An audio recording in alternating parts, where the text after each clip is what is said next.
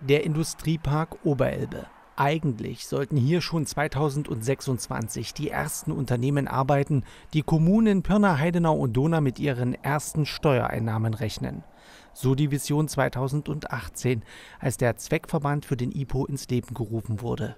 Die Realität aber sieht anders aus. Der geplante Großindustriepark entlang der B 172a hat viele Baustellen.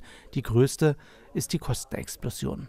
Mit dem Fortschritt der Planung für das Bebauungsplangebiet 1.1 äh, sind wir letztendlich da gelandet, wo wir davon ausgehen müssen, dass der erschlossene Quadratmeter Gewerbefläche äh, dann jetzt irgendwo in dem Bereich von 200 Euro liegen wird, also im Vergleich von 69 Euro auf 200 Euro für den erschlossenen äh, Quadratmeter Gewerbefläche.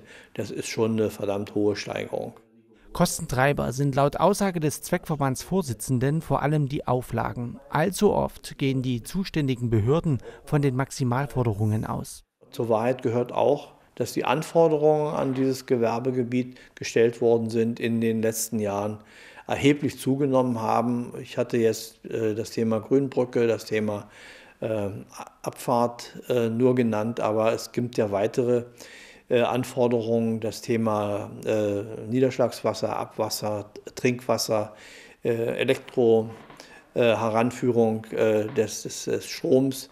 All diese Dinge, die haben sich natürlich in den letzten Jahren mit der Konkretisierung der Planung wesentlich auch konkretisiert, aber eben konkretisiert im Sinne, dass tatsächlich dann jeder eine Vollkostenrechnung gemacht hat und wir dann tatsächlich bei diesen, in diesen Größenordnungen angekommen sind. Wie nun weiter mit dem geplanten Industriepark Oberelbe?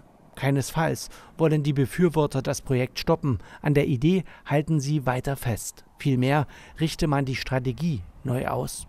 Deshalb sehen wir jetzt unseren Weg darin, äh, uns auf die Schaffung vom Baurecht zu kaprizieren.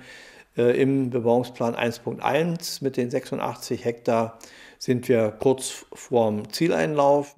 Für das Vorzugsgebiet auf Pirnaer Flor rechne man im ersten Quartal 2025 mit Baurecht. Gleiches Ziel verfolgt der Zweckverband, nur zeitversetzt, auch für das Baugebiet 1.2.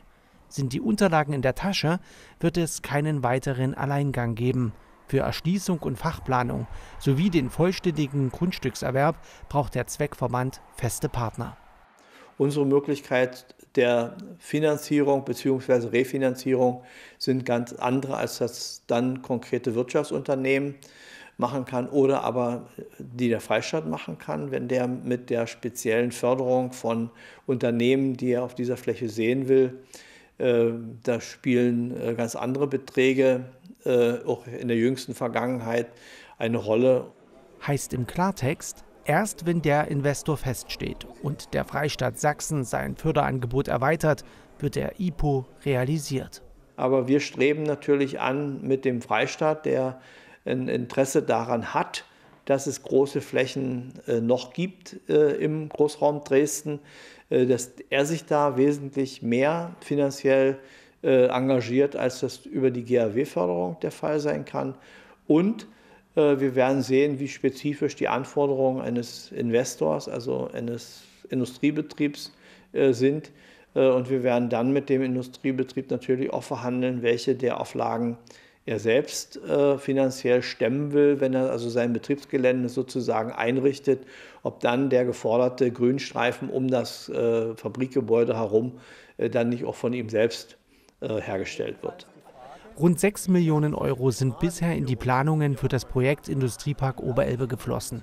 Getragen wird diese Summe anteilig von den Kommunen Pirna, Heidenau und Donau.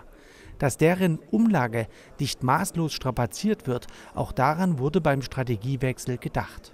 Sodass es so aussehen wird, äh, dass der Haushaltsplan für den Zweckverband für die, für die Jahre 25 und 26 zu wesentlichen Teilen keine Investitionen enthalten werden und damit eben auch keine weiteren größeren Kreditaufnahmen, es sei denn, die werden für den Grunderwerb noch benötigt, aber ansonsten ähm, werden wir dort äh, längst nicht mehr so viel Geld, also längst nicht so viel Geld in die Hand nehmen, wie das vielleicht vor drei Jahren noch mal so äh, beabsichtigt gewesen ist. Beim geplanten IPO gibt es kein Weiter so.